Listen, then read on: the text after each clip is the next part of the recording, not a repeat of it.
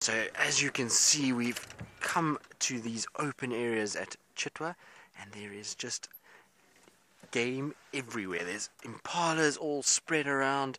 They're all busy feeding and making use of these beautiful open clearings that have been cut, I think.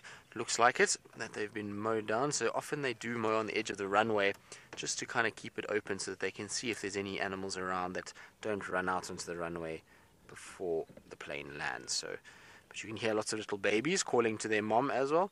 That's such an amazing sound that they make. There you go. Oh, you lost, little one. So it's little here in front. Busy making. I think it's looking for its mother at this stage.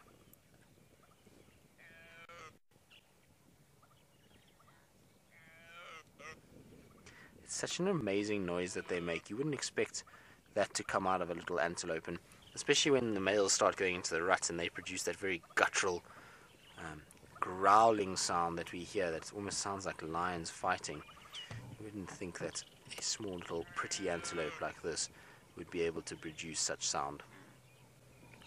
I'm pretty sure most of these impalas are going to start moving into some shady area because all of a sudden the sun has got very warm there's a cool breeze blowing, but the sun itself is now quite hot and it's getting a little bit warm to be in the sun, so I think everything's going to go shade.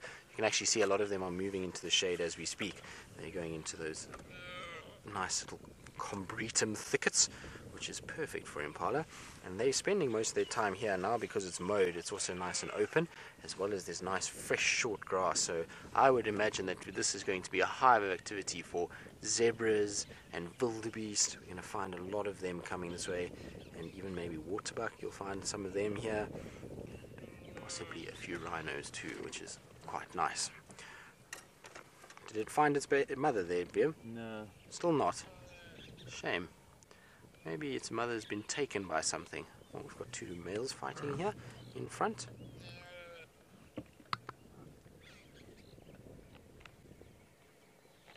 So this is now the start of this rutting process. We're going to soon be having the rut.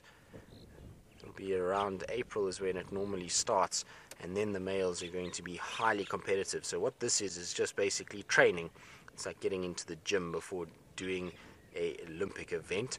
They lock horns like that and push each other around a little bit just to kind of practice and to get their technique right and make sure that they develop those neck muscles so that when they do compete properly that they're able to then win and get themselves a nice little herd of females. Now there was a whole bunch of zebra that have also just come running down.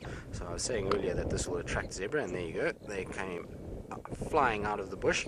For some reason they don't look too perturbed.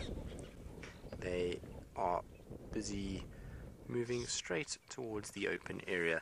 Also in front of us is a giraffe and its little one too. So a whole bunch of animals all in one place. I think everybody's using this nice open clearing to be able to. Oh, hello. Well spotted, Vim. Look at that. Ah, Mike, you're asking if there's a reason why zebra and impala are always together. Well, it's just brought about by the environment that they like to utilize. So both of them are animals that are preyed upon quite heavily, and so they both will move into more open clearings and open sections to be able to avoid predation. So much easier to spot lions, leopards, cheetah, wild dogs in big open clearings like this than it is in the thickets. And so at the end of the day, they'll rather come and congregate in these areas, and that's why you find zebra and, and impalas often in the same place. Also, zebras are short grass feeders, so they like short open areas. That's generally the habitat that they like to be in anyway. So that's why you get this mix of them in the same area. Also, wildebeest, they'll be around quite a bit in these sections too. So you often find a ze- zebra herd with a lonely wildebeest male and impalas in the Sabi Sands. If you go into other parts of Kruger, then you find groupings of zebra and wildebeest together. And it's all just because of the type of terrain that they like and the type of food that they like. You can see the Zebra's a little nervous of their running impalas. These guys are not quite as relaxed as the McCurdy Hurdy, so we need to send Taylor this way and get her working on habituating this lot as well. And the little baby giraffe quite cute. So the reason why the giraffe is here is maybe a little bit different. Because this baby is still very small, it's very susceptible to predation. Um, so hyenas in particular are a real big problem for baby giraffe in this area. And so it's probably come here to lie at night to be able to see what's going on and for the baby to be able to sleep and sit down and be able to rest and allow that time for the little one to rest those legs. And then in the mornings they stand up and they'll start moving into the more shaded treed areas where they can go and feed. Because remember, giraffe are not going to be able to feed on this grass. They need to find a tree that they can busy that they can feed off, and so they'll just use this as a night point and a resting point, and then back into the thickets during the day when there's less predators moving around and looking for prey items. But isn't that amazing? Nice screenshot there. If you like doing screenshots, three species in one shot, always quite pleasant. Very, very nice. But it's turning out to be a beautiful day. The sun has come up now, clouds are shifting out. There is a little bit of a cool breeze, and it's got that very autumn, wintry feel to it. The breeze is quite cold, but the sun is beautiful and warm. So, very, very, very nice. It's a nice. Oh, zebra's lying down in the road. Is it going to have a little roll? Let's see.